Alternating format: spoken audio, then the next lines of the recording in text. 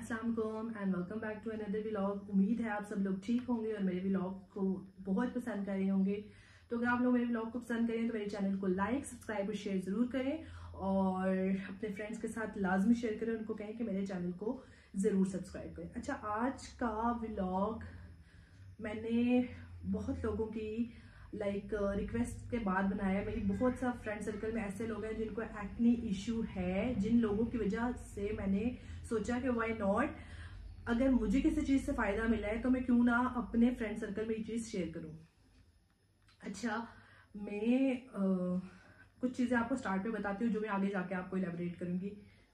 I am a very over thinker kind of a girl मैं बहुत over thinking करती हूँ। आई डोंट नो वाई पर मुझे ये हैबिट है। मैं इतनी ज़्यादा ओवर थिंकिंग करती हूँ कि अगर मेरे साथ कोई छोटी सी चीज़ होगी ना तो मैं उसको ना for one hour for two hour बैठ कर उसको सोचती रहूँगी। आई डोंट नो वाई ये कहाँ से, शायद मेरी मामा से ये चीज़ मेरे अंदर आई है। She is also this sort of lady कि मामा को कोई भी चीज़ होती है तो मामा उस चीज़ को सोचती रहती हैं। And same kind of issue I am having कि मैं इतनी ओवर थिंकिंग करती हूँ that I can't even describe this to you हैर मेरा आज का ब्लॉग था related to acne scars prone skin like मेरी आज का ब्लॉग सिर्फ़ उन लोगों के लिए है जो इन इश्यूज़ को फेस कर रहे हैं अपनी नॉर्मल लाइफ में. एंड आई नो एक्नी आपकी मेंटल हेल्थ को बहुत ज़्यादा डिस्टर्ब करती है. लाइक like, मैं इस चीज़ को लेके बहुत ज़्यादा डिस्टर्ब रही हूँ. सो आई कैन अंडरस्टैंड कि हर लड़की को ये चीज़ डिस्टर्ब करती है. अच्छा आई ट्राई के जितने लोग हैं वो इस ब्लॉग से फ़ायदा उठा सके बट स्टिल इस्लामाबाद, पिंडी में जो लड़कियाँ रहती हैं उन लोगों को तो ऑफकोर्स ये बात है, इस ब्लॉग से बेनिफिट ज़रूर मिलेगा। अच्छा मैं आपको अपनी जर्नी बताती हूँ। मेरी एक्नी की जर्नी कहाँ से स्टार्ट हुई? मेरी एक्नी की जर्नी स्टार्ट हुई थी मेरी स्कूल लाइफ से। स्कूल लाइफ में मुझे थी एक्नी लेकिन वो था कि भाई आना जाना और वो खुद ब खुद सेटल हो जाती थी skin when I was in the college I remember मुझे एकदम से एक्नी सेकेंड ईयर थी मेरी। एक्नी एकदम से इतनी ज़्यादा हुई कि मैं उस वक्त जो मेरा फ़र्स्ट डर्माटोलॉजिस्ट इनके पास मैंने विज़िट किया था, वो थे डॉक्टर नदीम, जो कि जन्ना चीची में होते थे, जिना पार्क के पास कोई जगह। मैं सबसे पहले उनके पास गई थी। उन्होंने मुझे उस वक्त बेटनोवेट बताई थी और एक मेडिसिन बताई थी। और मुझे मेडिसिन अब याद नहीं है उस मेडिसिन का नाम क्या था। मैंने वो मेडिसिन ली एंड मुझे फ़र्क पड़ा। और उसके बाद आई थिंक तो वो छुट्टियाँ थी हमारी समर वेकेशन थी। उसके बाद जब मैं गई तो मेरी फ्रेंड यार क्या किया है स्किन पे बोला स्किन बड़ी अच्छी होगी है। गई और फिर कुछ टाइम बाद वो चीज़ दोबारा हुई, मेरी एक्नी दोबारा एक्टिव हुई। तब मैं I think so fourth year में थी। मेरा लास्ट ग्रेजुएशन का मेरा लास्ट ईयर था। और मुझे एकदम से दोबारा मेरी एक्नी बहुत एक्टिव हुई। मैं उस वक्त जिस, जिन डॉक्टर के पास गई थी, वो डॉक्टर थे मेरे एम एच के एक डॉक्टर थे, जंजुआ उनके नाम के एंड पे आता था, मुझे उनका नाम इम्तियाज़ जंजुआ और आई हैव नो आइडिया मैं उनके पास गई और मैंने आई रिमेम्बर मैंने तब कितने की मेडिसिन ली थी? टेन थाउज़ेंड अबव मैंने कुछ मेडिसिन ली थी। और वो भी मेरी कोई कमेटी निकली थी, छोटी सी जो मैंने ऐसी, क्योंकि मैं ट्यूशन बच्चों को पढ़ाती थी तो कोई नॉर्मल से मैंने कमेटी डाली थी, मेरी ट्वेंटी थाउज़ेंड की निकली थी, जिसमें टेन टू ट्वेल्व थाउज़ेंड मैं अपने स्किन पे वहाँ पर स्पेंड करके आ गई। I've used that medicine for three to four month, but वो कहते हैं ना, कोई फ़र्क ना नज़र आना। मुझे वो चीज़ हुई।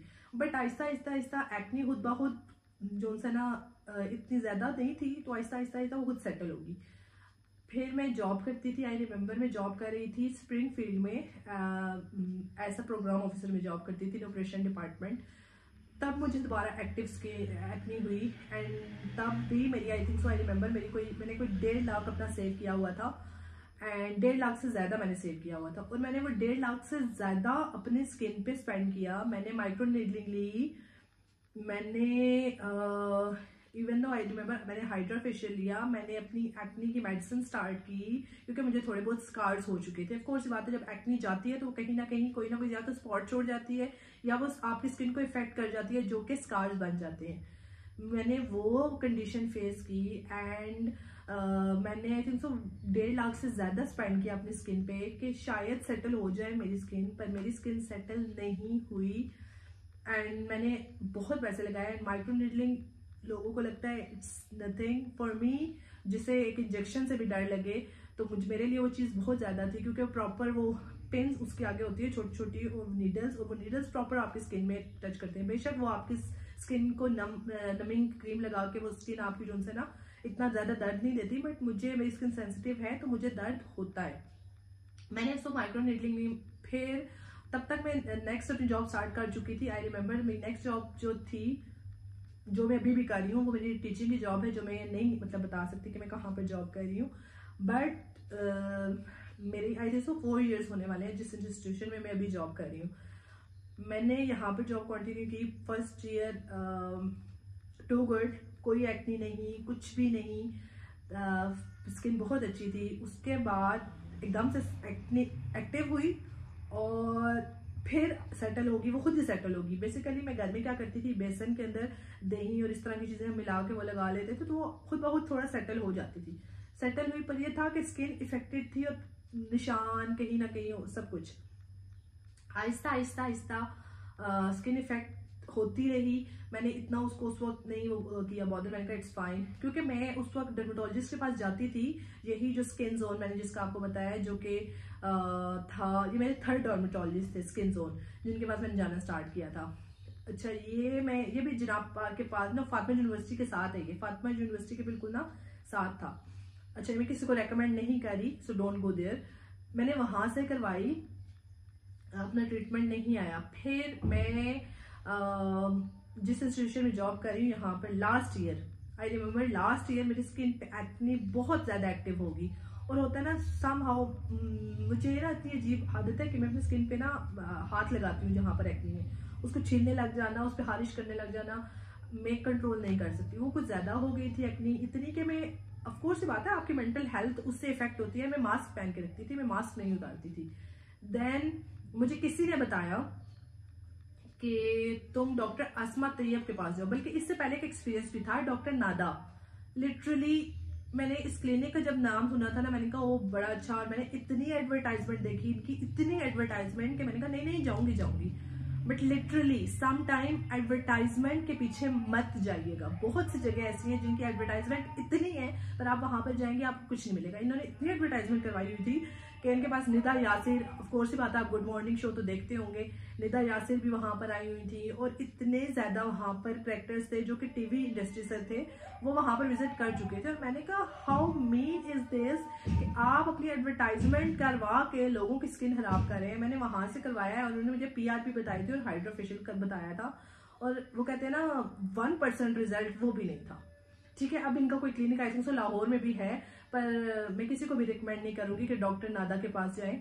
उसके बाद मेरा जो लास्ट जो मेरी, मैंने अपनी डर्मेटोलॉजिस्ट जिनके पास में गई and she is one of the fine dermatologist in Islamabad and Pindi area अगर आप लोगों को अपनी स्किन का इशू है और अगर आप लोगों को किसी डर्मेटोलॉजिस्ट के पास जाना है so I will recommend doctor Asma Tayyab she is one of the fine fine fine dermatologist and I love to go there मतलब मेरी जब उनसे फ़र्स्ट टाइम आई रिमेम्बर मुझे किसी ने बताया था कि मैंने उधर जाना था और मैं जब वहाँ पर फ़र्स्ट टाइम गई, मेरी आई थिंक उनसे फोर्टी मिनट की कॉन्वर्सेशन हुई थी और इतने, जहाँ मैंने डेढ़ डेढ़, दो दो लाख लगाए थे, वहाँ पर मैंने कहा, यहाँ पर भी लगा लूँगी तो इट्स ओके okay. मैंने 2000 आई रिमेम्बर तब इनकी कंसल्टेशन फ़ी थी, अब तो 2500 है कंसल्टेशन फ़ी 2000 थी। और ये प्रॉपर एक फ़ाइल आपको बना के देते हैं, जिस फ़ाइल पे आपका एक डाटा लिखा होता है डे टाइम किस दिन आप आए, सब कुछ। आपका ये नंबर लेंगे, आपके साथ प्रॉपर कॉन्वर्जेशन होगी, उसके बाद आपको इशू है तो ये वो भी सॉल्व करेंगे। ठीक है, अगर मुझे कभी कोई इशू होता है तो मैं डायरेक्टली इनसे कॉल पे भी डिस्कस कर लेती हूँ। मैं गई, मेरी 40 टू 45 मिनट की इनके साथ एक प्रॉपर मीटिंग हुई and I can't describe that meeting मतलब मैं उसी टाइम पे इतनी सेटिस्फाई हो चुकी थी, क्योंकि इससे पहले मैं जितनी डर्मेटोलॉजिस्ट के पास जा चुकी थी, मैं अपना वो एक्सपीरियंस शेयर नहीं कर सकती। मैं जब इनके साथ गई, इनके पास गई थी इवन कि इन्होंने मेरे बालों को पकड़ा, उन्होंने खींच के चेक किया कि कितनी हद तक मेरे बाल टूटते हैं, ठीक है? मेरा वेट चेक किया गया, मेरी लाइक प्रॉपर एक एक चीज़ की ये चीज़ कब है, ये चीज़ कब है, ये कब होता है सब चीज़ें उन्होंने मतलब मेरी पूछी, मेरी हाइट की मेज़रमेंट मेरा वेट एवरीथिंग फिर उन्होंने मुझे कुछ टेस्ट दिए थे और मैंने वो सब टेस्ट करवाए और वो टेस्ट एलपी का टेस्ट था आई थिंक सो उसमें मेरा ब्लड टेस्ट था, मेरा यूरिन टेस्ट था, उसके अलावा चार पाँच टेस्ट थे, मुझे टेस्ट के नाम नहीं याद. उन्होंने कहा, पहले टेस्ट टेस्ट की रिपोर्ट आएगी. If reports are clear then हम आपको रेकमेंड करेंगे अपना जो सिक्स मंथ का कोर्स है. ठीक है, मैंने उनसे कहा कि एक गारंटेड रिज़ल्ट है and she said this to me मुझे इससे पहले किसी डॉक्टर ने ये बात नहीं बोली थी कि गारंटेड रिज़ल्ट है, और उन्होंने मुझसे ये बात की कि गारंटेड रिज़ल्ट है आपको। मैंने कहा ओके फाइन देन मैंने टेस्ट वगैरह करवाए। आई रिमेम्बर तेरह से चौदह हज़ार रुपये के मेरे कुछ टेस्ट हुए थे। वो टेस्ट मैंने करवाए, और मेरे सब टेस्ट क्लियर थे। एंड शी सेड कि टेस्ट सब क्लियर है तो फिर आपको इश्यू ऐसा क्या है? फिर उसने मेरे से पूछा कि are you like having some stress तब मैंने उनको बताया कि मुझे ओवर थिंकिंग का इश्यू है जो मैंने आपको स्टार्ट में बताया था कि ओवर थिंकिंग क्यों रिलेट करती है। मुझे ओवर थिंकिंग का इतना इशू है कि सम हाउ uh, मतलब कोई मुझे छोटी सी बात कह देगा ना तो मुझे समटाइम तो मुझे कोई बड़ी बड़ी बात भी नहीं करेगी। और कभी कभी मुझे एक छोटी सी बात इतना ट्रिगर कर जाती है और मैं उस वक्त उनको नहीं आंसर दे पाती। तो मेरा क्या होता है कि मैं बाद में बैठ के सोचती रहती हूँ हाँ मैं ये कह सकती थी, मैं वो कह सकती थी, मैं ऐसे कर सकती थी, मैं वैसे कर सकती थी। एंड यू नो वाट मैं उस वक्त बहुत स्ट्रेस में थी। नॉट बिकॉज़ ऑफ़ लाइक मैं लोगों को लेकर इफ़ेक्ट नहीं होती, पर मैं स्ट्रेस में आ जाती हूँ। आई डोंट नो वाई पर मैं स्ट्रेस ले लेती हूँ। जब मुझे लोग कुछ ना कुछ कहते हैं ना कि ये इसकी वजह से ये ऐसे है, वो है, मुझे वो चीज़ें इफ़ेक्ट नहीं करती, पर वो मुझे स्ट्रेस में ज़रूर डालती हैं। मुझे लगता है इफ़ेक्ट करना और स्ट्रेस में डालना दोनों डिफरेंट इफ़ेक्ट मतलब कि मेरी जात को इन चीज़ों का फ़र्क नहीं पड़ रहा, लेकिन वो चीज़ें सोचना ओवर थिंक करना so I think so over thinking relates to stress तो मुझे इतना ओवर थिंकिंग का इशू है। मुझे डॉक्टर ने कहा कि just because of your stress your like anxiety depression ये सब चीज़ें आपको, आपकी एक्ने को समटाइम्स एक्टिव कर देती है और आपका स्ट्रेस आपके फेस पे आपके डायरेक्ट शो होता है, क्योंकि मेरी स्किन है सेंसिटिव फिर उन्होंने मुझे बताई थी आई रिमेम्बर उन्होंने मुझे मेडिसिन दी थी सिक्स मंथ का कोर्स था मेरा। प्लीज़ ऐसे मत लीजिएगा ये वाला कोर्स क्योंकि मैंने सिर्फ़ यहाँ पर डॉक्टर को बताने का रीजन ये है कि if you are having acne issue scars issue any issue related to your skin if your if you are having dull skin you can take some treatment from her. She is so good. Uh, मेरा उन्होंने six month का मुझे course बताया था जो कि मैं four month से ज़्यादा कंटिन्यू नहीं कर सकी थी क्योंकि मैंने उस वक्त अपने सारे पैसे एक जगह इन्वेस्ट किए हुए थे और वो इन्वेस्टमेंट मुझे इतनी ज़्यादा हो चुकी थी कि मैं उस चीज़ को कंटिन्यू नहीं कर सकी क्योंकि मेरी वन मंथ की जो मेडिसिन थी वो आई थिंक सो तकरीबन तकरीबन वन मंथ की नहीं, थी टू टू मंथ्स के हिसाब से चला रही थी मैं। मैंने फोर मंथ जो मेडिसिन चलाई, वो मेरी I think so twenty five और थर्टी थर्टी थाउज़ेंड की मेरी थर्टी थर्टी फाइव की मेरी फोर मंथ चली थी। मतलब आपका total course fifty to sixty thousand तक चला जाता है बट यू कॉन्ट लाइक वो कहते हैं ना कि पचास, साठ हज़ार लगाना, उस डेढ़ लाख लगाने से ज़्यादा बेहतर था। और यकीन करें, मेरी स्किन पे मुझे इतना असर हुआ मुझे डॉक्टर ने कहा था कि लाइफ टाइम गारंटी दे रही हूँ। सिक्स मंथ कोर्स करो, इसके बाद ज़िंदगी में एक का दुक्का दाने निकल जाएँगे। शी वॉज़ सो ट्रू और उन्होंने मुझे ये बात बोली भी कि गारंटेड रिज़ल्ट दे रही हूँ। मैंने कहा, ठीक है। अच्छा मैं एक ऐसी बंदी हूँ कि मैं पकोड़े खाऊं, मैं आम खाऊं। मुझे इतनी सेंसिटिविटी का इशू था, मेरा, इतना मेरा इशू था कि सेकंड्स लगते थे, मेरी स्किन पे एक्ने आ जाता था। ऐसी मेरी स्किन थी। मतलब मैं रमज़ान में पकोड़े नहीं खा सकती थी, कोई गर्म चीज़। मतलब मैं पूरे रमज़ान से फ्रूट खाना और इस तरह सालन खा लेना, रोटी खा लेना, पर मैं पकोड़े, समोसे फ्राइज ये चीज़ें नहीं खा सकती थी। मेरा ट्रीटमेंट उन्होंने किया एंड आई रिमेम्बर इस समर में मैंने एक दिन में, वो जो छोटे आम होते हैं ना, जो चूसने वाले आम होते हैं, मैंने वो एक एक आम, एक एक आम लोग लेते हैं दिन में, चले एक, दो, मैंने एक दिन में दस दस आम खाए, और यकीन करें, वो कहते हैं, एक एक्ने का issue no no way like like, उन्होंने मुझे ट्रीटमेंट दिया मेरी मैक्सिनॉइन की एक मेडिसिन थी मैक्सिनॉइन पर उसके दरमियान में ये होता है कि उन्होंने एक चीज़ पहले बताई होती है कि आपकी शादी से पहले क्योंकि स्किन आपकी ना ड्राई हो जाती है तो आपकी शादी को सिक्स टू सेवन मंथ है उन्होंने ये चीज़ वो आपसे पहले पूछती है। मेरी जब ट्रीटमेंट स्टार्ट हुआ मुझे याद है कि 15 डेज़ के अंदर आप फेस पे वैक्सिंग नहीं कर सकते वो आपको कुछ ट्रीटमेंट सजेस्ट करती हैं कि आप ये ट्रीटमेंट्स ले ही नहीं सकते like micro needling and all that stuff PRP आप ले सकते हैं आप हाइड्राफेशियल ले सकते हैं पर उसके अलावा आप ट्रीटमेंट्स नहीं ले सकते स्किन के लिए। वैक्सिंग तो बिल्कुल नहीं ले सकते, ठीक है? मेरी स्किन का ये इशू हुआ था कि मैं वैक्सिंग करती थी, मुझे इतने हेयर्स का इशू नहीं है बट स्टिल वो आदत हो जाए तो मैंने वैक्स एक दफ़ा की, मुझे यहाँ पर ब्लैक लिप्स के साइड पे मुझे ब्लैक कलर के निशान पड़ गए, क्योंकि स्किन इतनी खुश्क थी कि वो स्किन नीचे से उतर गई। तो उन्होंने स्पेशली मना भी किया था। तो इस दौरान आपकी स्किन इतनी ड्राई हो जाती है कि मेरे होंठ इतने खुश्क रहते थे कि मैं अपने होंठों में, होंठों के साइड पे नोज़ में, ठीक है इनसाइड ऑफ़ माई नोज़ में हर वक्त वैसलीन लगा के रखती थी, इतना ज़्यादा मुझे इशू था। पर इन 15 डेज़ इन 15 डेज़ मेरी एक्नी गायब होगी ठीक है? और अभी मैं पकोड़े, समोसे, आम, हर गर्म चीज़ खाती हूँ। मुझे एक्नी का इशू नहीं है, ठीक है? मेरी एक्नी बिल्कुल जा चुकी है। और उन्होंने मुझे ये बात बोली थी कि अगर लाइफ में आपको एक्नी हुई भी ना तो एक दाना निकल जाएगा मैक्सिमम ठीक है? ज़्यादा से ज़्यादा आपको एक दाना लेकिन दाने नहीं निकलेंगे बट स्टिल मैंने उनको बताया था लास्ट टाइम कि मैंने फोर मंथ कोर्स कंटिन्यू किया। तो उन्होंने कहा कि अगर कभी हुआ भी ना इशू तो आप मेरे पास आ जाना क्योंकि आपने फुल कोर्स नहीं किया। बट स्टिल अगर आप लोगों के जाना है डॉक्टर के पास मैं आप लोगों को फिर बता रही हूँ शी इज़ फाइन डॉक्टर इनका जो क्लिनिक है वो है एफ़ सेवन में ठीक है? स्ट्रीट नंबर मुझे अब नहीं याद स्ट्रीट टेन है या कुछ है स्ट्रीट टू है मुझे ये नहीं याद। क्योंकि मैं डायरेक्ट लोकेशन डालती हूँ मैं वहाँ पर चली जाती हूँ और आ, इनका है कि डॉक्टर आसमा तैयब, अगर आप इंस्टा पे मेंशन करेंगे तो आ जाएगा, मैं लिंक डिस्क्रिप्शन में डाल दूँगी। इनके क्लिनिक का नाम है I L S C Islamabad laser clinic, laser and skin clinic, ठीक है? Islamabad laser skin clinic. और आप यहाँ पर जाएँ आपको रिग्रेट नहीं होगा कि आपने पैसे वेस्ट किए और ना मैं किसी को पीआर और ये चीज़ें हम यहाँ पर करने में आई हूँ। मेरा इनके साथ बहुत अच्छा एक्सपीरियंस रहा है और जितनी एक्नी मुझे थी I I am not having the picture of that thing but still मैं वो एक्नी का वो बता नहीं सकती। इवन के प्रॉपर वो जो होते हैं ना पीप वाले दाने प्रॉपर मुझे वैसे दाने हो गए थे। But she is a very good dermatologist आप जाएँ अभी जो मैंने इनसे लास्ट ट्रीटमेंट लिया था, मैंने इनसे क्यू स्विच लिया था, क्योंकि मैं अंदर बाहर ये है कि जाना, मेरी जॉब है तो मुझे ना ये था कि मैं हाथ पाँव अपने कवर नहीं रखती। तो मेरे हाथ पाँव का इतना बुरा हाल हो चुका था कि अभी तो मेरे यहाँ पर शायद लाइट का इशू है, इस वजह से आपको मेरे हाथ का नज़र नहीं आ रहा होगा। और मेरे पाँव पे प्रॉपर लाइक होते हैं ना प्रॉपर ब्लैक ब्लैक स्पॉटिंग हो जाना, और इस तरह मुझे स्पॉट्स पड़ चुके थे। मैंने क्विस्टिच कराया and I am so satisfied मुझे जितने ट्रीटमेंट में भी, मैं इनसे पीआरपी लेती हूँ I feel good with that मतलब जो जो चीज़ें मैंने इनसे आज तक ली हैं, मुझे किसी चीज़ में ये नहीं था कि मैं उस चीज़ को लेके रिग्रेट मैंने इनसे भी लेज़र करवाया था एंड आई थिंक सो एक होता है ना, बहुत ज़्यादा एक्सपेंसिव होना नो मैं आज से फाइव टू सिक्स थाउज़ेंड में या सेवन थाउज़ेंड में ये लोग स्किन लेज़र करते हैं, और यकीन करें, मैंने करवाया था. मुझे वैसे इतना, मैंने बताया, बालों का इशू नहीं है बट फिर भी होता है आपको अपर लिप्स ठीक है चेन और मैंने वन एंड हाफ़ मंथ होने वाला है, मैंने इनसे करवाया था। ठीक है?